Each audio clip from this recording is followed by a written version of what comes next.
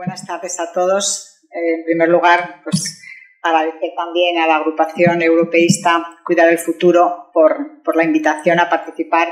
eh, en este acto inaugural del ciclo sobre el presente y futuro de la Unión Europea, en este lugar tan, tan especial y tan, tan perfecto para, para, el tema que nos ocupa, en mi calidad de presidenta del Foro Global de Transparencia e Intercambio de Información a Efectos Fiscales. Eh, el Foro Global es una organización internacional multilateral que tiene por objeto fundamental velar por el cumplimiento de los estándares internacionales de transparencia fiscal y que cuenta con más de 160 miembros, eh, prácticamente todos los países de la Unión Europea, y además eh, un buen número de países en vías de desarrollo. Lógicamente, eh, el tema que me trae hoy aquí es eh, la cooperación internacional y transparencia, como digo, como un organismo que vela fundamentalmente por la transparencia en materia fiscal. En este mundo global y digitalizado en el, que, en el que nos encontramos y en el que los individuos, las entidades y el capital tiene una amplia movilidad y no encuentra fronteras en, su, en su movimiento, los riesgos de evasión, de fraude y de ocultación son crecientes, obligando pues, a todas las administraciones tributarias a a redoblar sus esfuerzos para luchar contra las prácticas de evasión. Y todo ello en aras de una mayor eficacia y justicia del sistema tributario, que exige que todos contribuyamos al sostenimiento de los gastos públicos de acuerdo con la capacidad económica. En este contexto, como decía, de, mundo global y, digitalizado,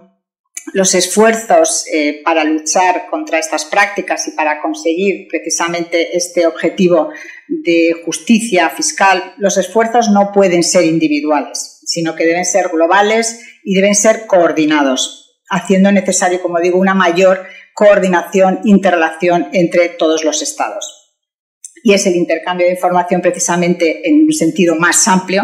uno de los instrumentos que se ha demostrado en los últimos tiempos más eficaz para cumplir con ese objetivo. Eh, junto con la OCDE, pues la Unión Europea ha tenido un papel líder, ha tenido un papel fundamental y tiene, que seguir mm, eh, desempeñando este papel en el ámbito de la transparencia y del intercambio de información internacional, con la finalidad, como digo, de incrementar esa cooperación entre todos. Hace ya casi tres décadas que, la primera directiva comunitaria de asistencia mutua entró en vigor y su uso se ha incrementado de forma espectacular. Desde esa primera directiva son varias las directivas que han venido a modificarla para ampliar el ámbito objetivo de ese intercambio y de, y de esa transparencia. Como digo, desde, ese momento pues, eh, se han incorporado nuevos estándares, incluyendo uno que quizás ha sido el estandarte de la transparencia, que es el intercambio de información de cuentas financieras que ha reportado importantes resultados en términos de recaudación para todos los Estados miembros. Desde entonces, el proceso ha sido imparable y será en el futuro. Son múltiples los avances y los logros obtenidos en estos últimos años. Es cierto que los diversos escándalos mediáticos, como quizás el más sonado Panama Papers, ha evidenciado que la opacidad y la falta de cooperación leal son una característica común a los territorios que han dado cobijo a determinadas prácticas. Y, por tanto, eh, se ha reforzado y se tiene que reforzar la agenda internacional de transparencia. De hecho, eh, el G20 y la Unión Europea han demostrado y han mostrado desde, esa época un claro respaldo y compromiso con la transparencia. Estamos entonces ante un potente instrumento que permite detectar y corregir el fraude fiscal.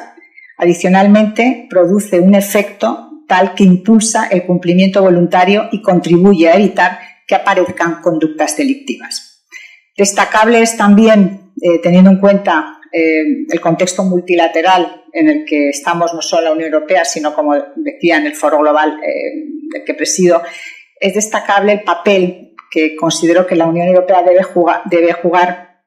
a la hora de promover que esa transparencia y esos beneficios que la transparencia y el intercambio de información reporta y puede reportar a los países menos desarrollados. Y, por tanto, debe eh, trabajar, como en algún, alguno de los ponentes anteriores, en trabajar sobre todo en mejorar la capacitación de esos países en vías de desarrollo para que todos podamos trabajar en pie de igualdad y podamos beneficiarnos de eh, todos esos mm, beneficios, como digo, que reporta la transparencia y sobre todo en la mejora de la movilización de los recursos nacionales. Muchas gracias y por su atención.